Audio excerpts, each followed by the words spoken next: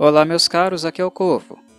Bem-vindos novamente ao canal e a mais um episódio das Crônicas Arturianas, mais especificamente do livro O Rei do Inverno, escrito por Bernard Cornwell.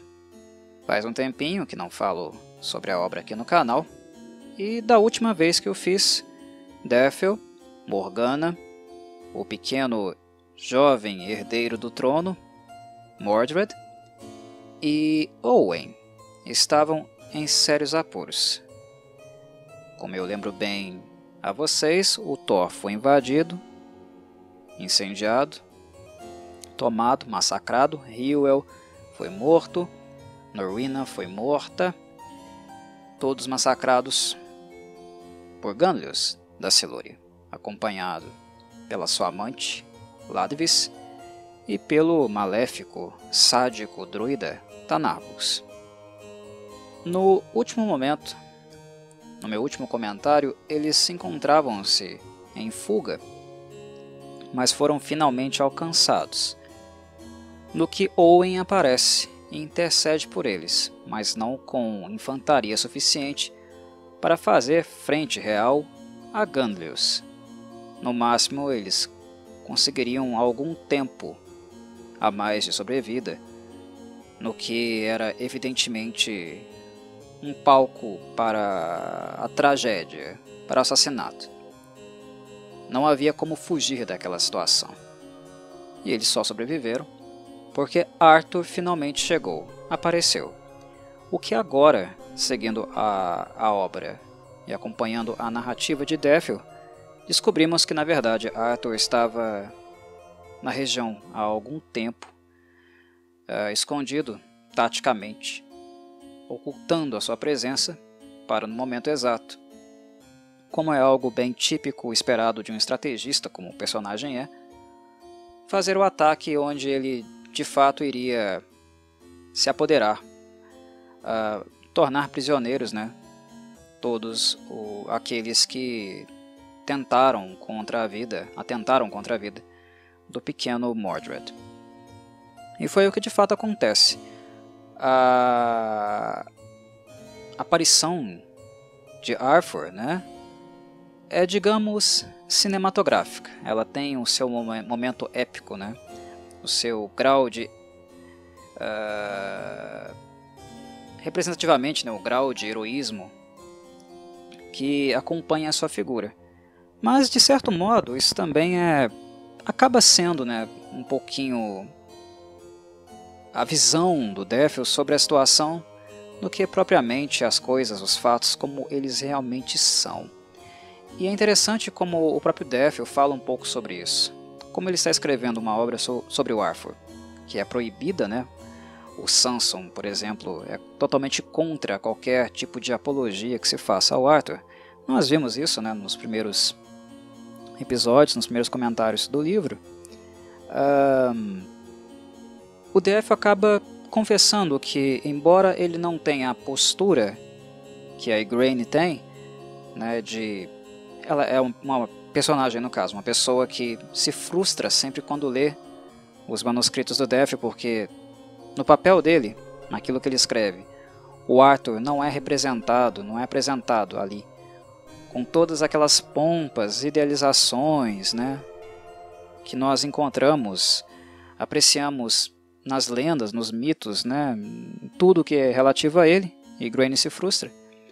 Mas mesmo assim o Defel não deixa de fazer aquela eh, jogada, aquela típica atitude do quem conta um conto aumenta um, ponto.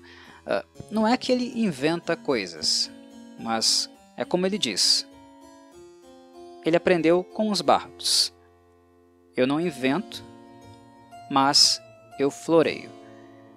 Então, se não é como a Igraine gostaria que, que fosse, ainda assim há um certo traço de pompa, né, de uh, ambiente épico, de heroísmo, que certamente é influência da visão, do, da admiração que o Devil tem pelo Arthur em si, né, por esta persona então, O que nós acompanhamos, é importante que o próprio narrador diga isso, né? o Def no caso, porque grande parte do que nós acompanhamos, naquilo que é heróico, talvez não seja exatamente cheio do heroísmo né, que ele está dizendo ou narrando. Embora o relato do Devil até este momento aqui tenha sido muito né, realístico, ponderado na realidade, a ponto dele ter apresentado e continuar apresentando né, todas as barbáries, barbaridades da sua época, do tempo que ele viveu. É um texto bem uh, transparente nesse sentido. Mas é inevitável perceber que sempre quando ele se refere a o Arthur, tem um brilho nos olhos, né? aquele olhar de menino, né? Diante de uma figura que ele visa como o modelo, aquilo que ele gostaria de ser quando crescer. Tem esse brilho nos olhos, né? esse encantamento. E eu creio que aqui também é perceptível. Quando Arthur chega, ele domina os Silurianos. Alguns fogem, né? inclusive alguns traidores conseguem escapar, mas a maior parte deles o Arthur dá conta. Uh, ele acaba fazendo com que os Silurianos, Gandlius, Danarbus, Ladvis e todos os demais sucumbam. E os uh, comandantes, no caso, né, na verdade, Glandlius, Ladvis e Tanabus não são mortos aqui. Porque, embora o ato deles tenha sido abominável, né, eles mataram, massacraram o Thor, destruíram todos a sangue frio, inclusive mataram a Norwina, né, que era, em tese, a mãe do herdeiro, que é um crime absurdo. O Arthur é ponderado a ponto de não deixar o desejo de vingança falar mais alto. Ele sabe que os seus poderes são moderados. Ele é guardião do Mordred. Ele tem esse papel, o mesmo papel que o Owen tem. Os dois, em termos hierárquicos, estão no mesmo patamar. Mas ele sabe que não tem poder suficiente para decidir uh, sobre a vida ou morte de um governante, de um monarca. Uh, e esta é a situação que nós temos aqui. É, os sobreviventes todos revoltados porque perderam pessoas queridas, pessoas as quais eles cresceram, conviveram durante a vida toda. O Thor foi massacrado. Massacrado, que a gente teve lá foi uma chacina, um banho de sangue. Os sobreviventes clamam por vingança, né? Bem ao estilo Lei de olho por olho, dente por dente. Um, mas Arthur é ponderado, ele sabe que não tem esse poder de decisão.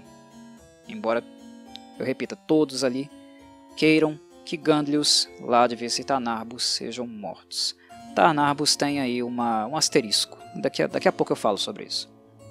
Uh, a própria Nimue, que teve o seu olho arrancado, né, bem vos lembra, uh, queria ela mesma matar pessoalmente, com as próprias mãos, o Gandlius. Né? mas Arthur não concede a ela saciar seu desejo de vingança e nem a outra pessoa ali.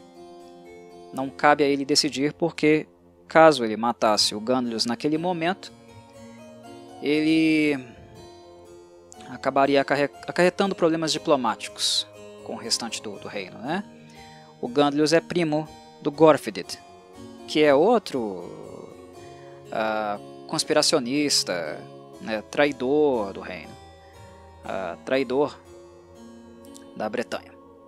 Mas o que nós vemos aqui né, são as políticas, a diplomacia falando mais alto diante de figuras tirânicas, genocidas, que não teriam a mesma postura, já provaram que não têm a mesma postura, numa situação inversa.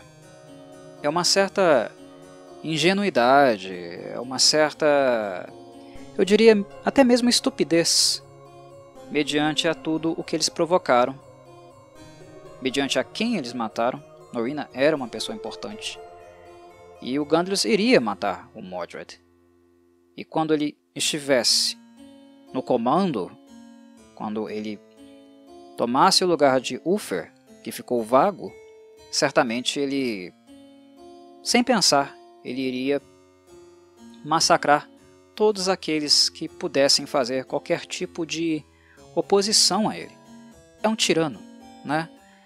O Arthur é sensato por escolher a tradição, né, a política, a diplomacia. Mas com tiranos, isso é algo estúpido. Porque você os deixa viver mais um dia, dois dias, um mês, e eles. A, a, a existência de um tirano, né, a perpetuação de um tirano, só acarreta em morte de mais dezenas, centenas de pessoas. Você poupa uma vida, talvez por, por uma postura diplomática ou um discurso moral, né? aquela ideia, ah, eu sou melhor do que você. Mas esse discurso de honra, né? essa postura de honra, não vou matá-lo porque sou honrado, coisa que você não é, porque no, meu, no, no seu lugar você uh, se eu estivesse no seu lugar, você me mataria. Não se trata só da pessoa em si, do Arthur. Não é uma questão que apenas se resume à honradez do Arthur. É que o Gandlius vivo causa a morte de dezenas, centenas de pessoas. Então não é que uh, um tirano está sendo abatido, deposto, não é que uma pessoa que faça isso é um assassino. Não é porque a existência dele significa o genocídio, o massacre de mais outras dezenas, centenas de pessoas. É um que um tirano faz, é que um genocida faz.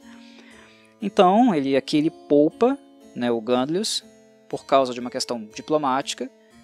Ele vai deixar que os governantes da, da Grã-Bretanha o julguem, os bretões o julguem, mas é um risco, né? É um risco de que esse tirano, né, por meio dos, dos, dos costumes da, da tradição, se perpetue no poder e volte, uh, possivelmente no futuro, volte a ser uma ameaça e continue massacrando né, uh, tantas pessoas como ele já massacrou anteriormente.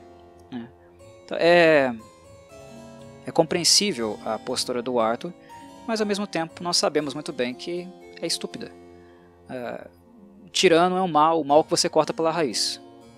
Tem que destruir um tirano. Porque se você não destrói o tirano, ele te destrói.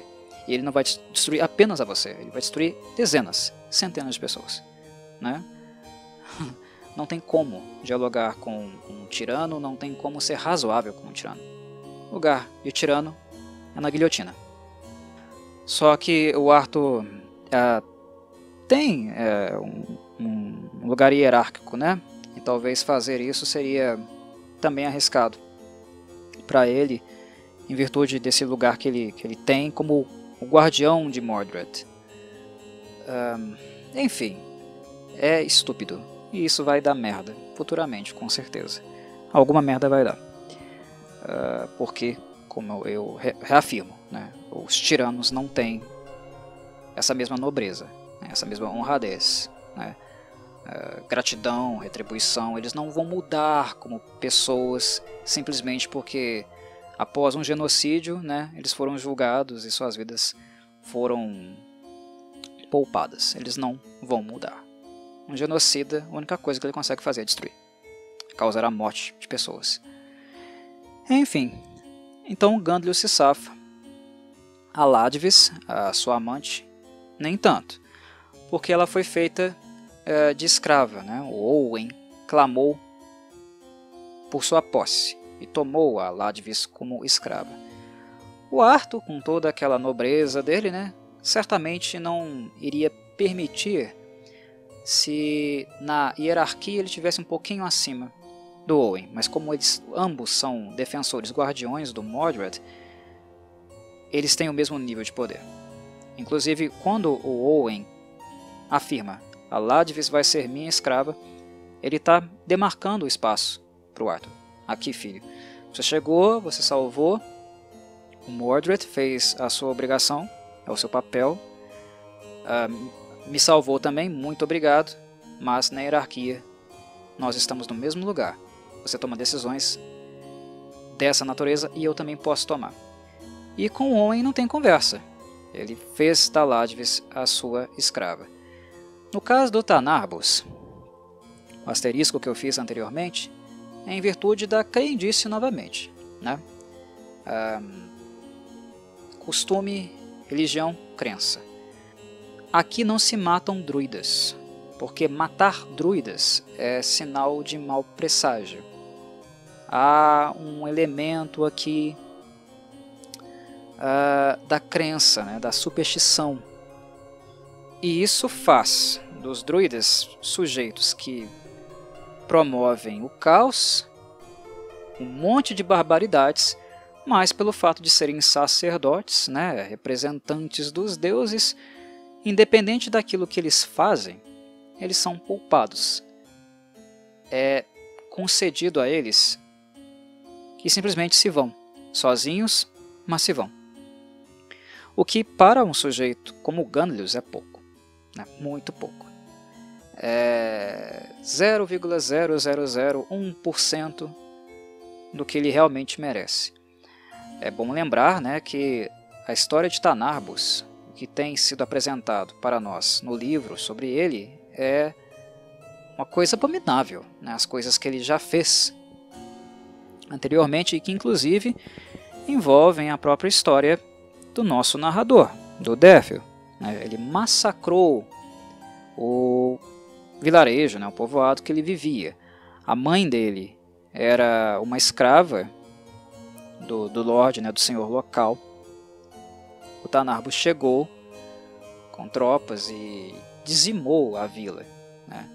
Inclusive, quando o Tanarbus é solto, o Derfel vai, ele corre atrás do Tanarbus, né? ameaça ele com a espada e relembra o Tanarbus dessa história, de como ele massacrou toda a vila, sua mãe, e jogou ele no poço da morte para morrer. O Derfel, se vocês não se lembram, ele está vivo por sorte. Né? Ele relembra o Tanarbus isso.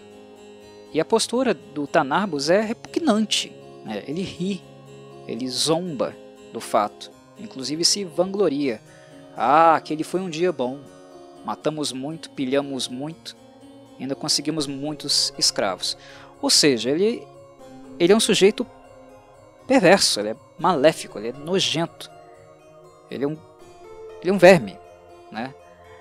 E perceber esse sujeito indo embora em virtude de questões culturais, ah, em virtude de crendice, né, de questões religiosas, reflete um pouco né, o que em 2021 ah, as coisas que a gente ainda permite né, que essas lideranças religiosas façam como elas colocam a vida dos outros em perigo em virtude de interesses mesquinhos individuais, monetários. Quantas pessoas são mortas, massacradas, não da forma que o Tanarbus fazia, né? Mas por outros meios, né? E que por causa de um discurso moral, né, questões morais de superstição, nada acontece com essas figuras. Só que o Devil tinha uma carta na manga. E o motivo de correr atrás do Tanarbus e ameaçá-lo com a espada uh, também foi esse.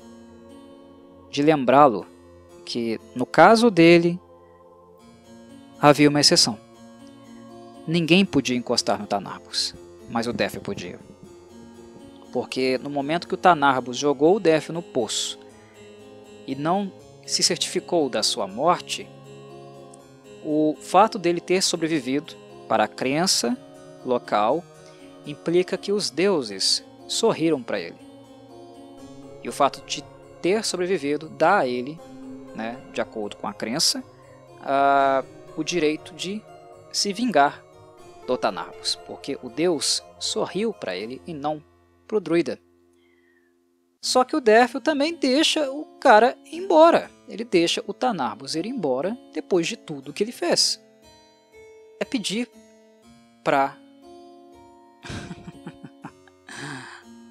Enfim, né? Se você não corta o mal pela raiz, se você não tira a fruta podre do cesto, ela apodrece todo o resto. Tanarbus ficar vivo, Gandlius ficar vivo, isso certamente tem consequências. O Défil opta por deixá-lo partir. Dentre todas as pessoas que estavam ali, ele era a figura que poderia dar um fim, um cabo no Tanarbus. Mas ele também não faz. Um, a vingança, a cólera, né, a raiva dele não era uma tão gigantesca como, por exemplo, a Nimue, que estava sem um dos olhos. né, o nível de asco, né, de indignação, né, de, de ódio mesmo por, por essa figura desprezível, aparentemente não foi tão grande assim. Ele deixa o Tanarbus ir embora. Mas antes de partir, de sumir, o Tanarbus diz algo a ele, né, que o abala. Ele afirma que a mãe do Derfil estava viva, que ela não havia morrido. E o personagem meio que não sabe como reagir a isso, né? Porque ele cresceu, ele passou o resto da, da infância dele, da, da, do início da juventude, ele tem 15 anos só, né? Aproximadamente 15 anos, é a idade que ele acha que tem. Ele viveu acreditando que era órfão. Ele teve tão pouca relação com a mãe que ele mal se lembra também né, de ter tido amor, carinho, cuidado materno uma coisa muito prematura na vida dele, né? E ele descobre, o Tanarbus, antes de partir, ele, ele grita, né, sua mãe está viva. E ele não sabe muito como reagir a isso. Né? Inclusive, ele guarda a espada e conclui, na verdade, ele toma a decisão mais cômoda né, de, de, de não pensar sobre isso, para não sofrer. Então ele prefere acreditar que o druida só estava o provocando, né, mentindo para ele. Maternidade, inclusive, é um tema recorrente né, nesse momento, porque aparece essa questão, né, é, vem à tona que a mãe do Défil possivelmente está viva. O Défil, quando provocado pela Igraine a escrever um pouco mais sobre a infância do Arthur. Ele o faz no pouco que ele conhece da infância né, do lendário uh, guerreiro, até porque o próprio Arthur não, não falava muito sobre isso, né? Ele não gostava de falar muito sobre a infância, mas o Défil acaba falando né, que ele tinha um amor muito grande pela mãe, né, uh, desejo, na, verdade, é algo que se traduz mais em um desejo de afeto, né, porque o Arthur não teve afeto da mãe. Ele gostava da mãe, amava a mãe, quando ela morreu né, com uma febre. Ele ficou ao lado né, do corpo dela, chorando, soluçando. Né, o Défil narra isso. Mas a mãe dele, a mãe do Arthur, não deu nenhum amor para o filho. Né? porque quando o Arthur nasceu, o Uther, o antigo, já falecido agora, né, rei de Dominônia, já tinha tido outros filhos com ela, na verdade filhas. Mas como eram meninas, o Uther não se preocupava, porque em tese meninas, né, não têm o mesmo, na verdade nesse contexto histórico não tinham os mesmos direitos que os homens, e em termos de requisitar do pai, né, reivindicar alguma benesse, algum direito na realeza, as meninas não teriam muita força nesse sentido. Futuramente elas seriam usadas né, para aumentar a influência do Ufer. Né? Ele iria casá-las, né, suas bastardas, com outras figuras importantes e aí ele acabaria aumentando sua influência. Mas no caso de Arthur, por ser homem, isso poderia apresentar alguma dor de cabeça caso o menino crescesse e reivindicasse alguma coisa né, na realeza, algum, algum lugar, algum papel. E quando o Arthur nasce, o Uther se afasta da mãe do Arthur. E é aí que ela uh, desconta na criança, porque ela sonhava, acreditava que se o Arthur não tivesse nascido, que ela seria para sempre a amante do Uther, o que óbvio não iria acontecer com o nascimento do Arthur ou não, é óbvio que não. Ela só era usada por ele, nada mais do que isso. Ela ficaria velha, né, o corpo iria padecer com a idade e o Uther só iria substituí-la por alguém né, mais jovem. É o que sempre acontece. É, mas ela tinha esse, esse devaneio né, de que se o Arthur não tivesse nascido, o Uther uh, teria amado, ela, ela, teria sido amante dele para sempre. Não, óbvio que não. Mas ela desconta tudo na criança. Uh, ela apontou o dedo para o Arthur e disse a ele: Você é o culpado do seu pai ter me abandonado. E até o, o, último dia de vida dela, até ela falecer, ela culpou o Arthur por isso. Então ele não recebeu carinho, ele não recebeu amor dela. Né? Então ele cresceu como uma criança carente, uma criança que, segundo o Derfield, se esforçava para tudo, tentava se provar em tudo e que possivelmente né, era para conseguir a admiração, o reconhecimento, o amor da mãe, coisa que ele nunca teve. Né? Então, por isso que talvez o Arthur se esforçou tanto para ser sempre o melhor naquilo que ele podia, em virtude desse, dessa carência mesmo infantil, né, de ter algum mínimo reconhecimento da pessoa, né, da, da figura materna, que no caso era a mãe dele, já que o pai, o Ufer, não o aceitou até o falecimento da mesma. Aí, aí sim ele acolheu o Arthur, as irmãs né, em Dominônia, né, na realeza, designou o Arthur, no caso, para treinar como soldado e as filhas ele começou a casar, seguindo alguns interesses. Depois que o, o filho legítimo dele, né, o Mordred, pai, faleceu, ele culpou o Arthur, aí nós já sabemos o que aconteceu, né, como o Arthur foi banido e tal. Mas foi basicamente isso que aconteceu. E tem mais um terceiro aparecimento da questão materna, nesse ponto da narrativa também, que é justamente a Aelian, né? que é a esposa do Arthur. Não legítima, né? Porque na verdade eles não se casaram, não houve matrimônio ou algo desse tipo. Uh, apenas, na verdade, ela era uma escrava do Arthur, pela qual ele se apaixonou, teve dois filhos com ela. Né? O Devil vem a conhecê-lo aqui nessa parte da história. Na verdade, ele está narrando, mas é a parte da história que ele, pela primeira vez ele conhece o Arthur, né? Inclusive, como recompensa por ter protegido Mordred, o Devil é designado a treinar com Owen, ser de fato um guerreiro, como ele desejava ser. Mas enfim, aqui ele conhece o Arthur, conhece pela primeira vez a Aelian, que é que era é, é, é escrava do Arthur, do Arthur, né? Mas ele não a trata assim, né? Tem amor por essa mulher, tá? está há 10 anos com ela.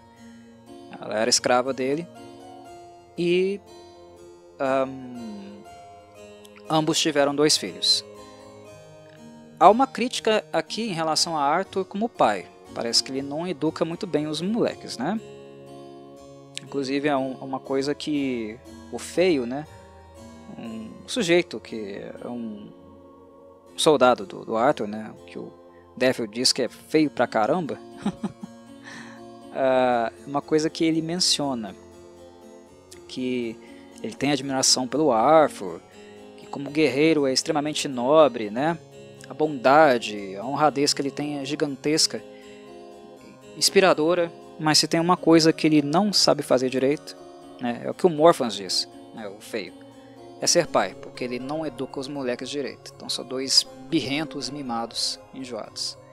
Mas são filhos de um amor real, que é o amor aí que ele sente por essa ex-escrava, né, que é Aelian. Mas uma coisa que eles discutem também, né, que nos é apresentado aqui, é que o Arthur tem uma linhagem, embora seja bastardo, ele tem uma linhagem real. E algum dia ele terá que se casar com uma outra mulher, com também de linhagem real, né? Porque isso, no caso, culturalmente, né, é obrigação nele. Né? Alguém de linhagem real tem que se casar com outra pessoa de linhagem real. Então, o Morphans, né, meio que se refere ao assunto. Uh, algo no sentido de que, que o Arthur aproveite né, os anos de felicidade que ele tem, de um amor real, né, de uma reciprocidade real, porque algum dia ele terá de cumprir né, uh, o seu dever como filho de um monarca, embora bastardo seja, de casar com uma nobre e dar prosseguimento né, à linhagem real. É, essa acaba sendo a obrigação dele, o fardo dele, né? Então algum dia esse relacionamento com Ailian terá de ser interrompido. Não é a primeira vez que isso acontece com uh, um nobre, né, em histórias medievais, de fantasia, não é a primeira vez. Inclusive, o próprio caso do Gandlius, né, anteriormente a gente viu que é a mesma situação, né, o mesmo, uh, a mesma configuração, digamos assim. Né, ele tinha que se casar com a Norina, ele tramou na verdade, para se casar com a Noina, mas também para matar a Norina depois, né? Matar a Norina e o, Mordred. Foi uma conspiração. Mas ele tinha obrigação de casar com uma, uma outra descendente, né? uma outra pessoa de linhagem nobre. Mas quem ele gostava mesmo era a Ladvis, né? e tinha um relacionamento com ela às escuras. E o que possivelmente vai acontecer, como acontece com vários outros, é que eles vão ter lá o seu matrimônio, né, o casamento oficial, mas vai ter lá a sua amante de fachada. Ah, né, vai ser ali uma Aileen, no caso, né, vai ser transformada possivelmente em uma criada, serva do castelo, algo assim, e ele vai ter lá seus romances, ter o adultério com ela. é, é, essas histórias, né, essas configurações é, matrimoniais dos monarcas sempre tem essa questão. É, o, monarca, o nobre, ele sempre tem é, esse tipo de conduta. Né? Casa para manter a influência, os poderes, a, as benesses, mas é tudo de fachada. E acaba tendo romances um, secundários né, com uma outra pessoa, com uma outra mulher. No caso aqui do Arthur será um caminho inverso. Né? Ele partiu de um um relacionamento verdadeiro, né, com uma mulher que era escrava dele e que no futuro ele vai ter que abdicar desse relacionamento para se casar com uma uma nobre. Enfim, maternidade de novo, né? Apareceu aí porque tem dois filhos, né? Teve dois filhos com ela. Crianças que possivelmente vão receber o mesmo tratamento. Talvez não, porque o Arthur não é Woofer, né? Ele é um sujeito mais nobre do que o Ufer, muito mais. Mas em termos de visão social, né, uh, de preconceito, de. Enfim, né, as pessoas vão olhar para essas crianças, para esses rapazes, da mesma forma que o Arthur foi visto uh, durante toda a sua vida. Ele não o é mais por causa das conquistas que ele teve, né? do papel de liderança ele ganhou um respeito muito grande por parte não apenas da infantaria, mas também da população. A população vê como um herói. Mas isso ele conquistou, em virtude dos feitos dele. Mas para os filhos que ele teve com a Aileen, eles vão ser sempre, né, aos olhos dos outros, bastardos. Né? Esse rótulo, esse estigma vai sempre acompanhar esses moleques. Enfim, mas eu creio que é, é isso, basicamente é isso. Não tenho muito mais nada a acrescentar não em relação a esse trecho específico, esse recorte aqui do livro. É claro que na, na aparição do, do Arthur uh, também nos é falado, apresentado todo o equipamento dele, né? Lança, escudo, que tem nomes próprios, né? O cavalo dele, né? A égua, na verdade. É, a égua dele, todos têm nomes E o item né, principal, a espada lendária uh, do Arthur, que é a Excalibur, né, é mencionado. O Defel não entra muito em detalhes sobre né, o evento da retirada da espada da rocha.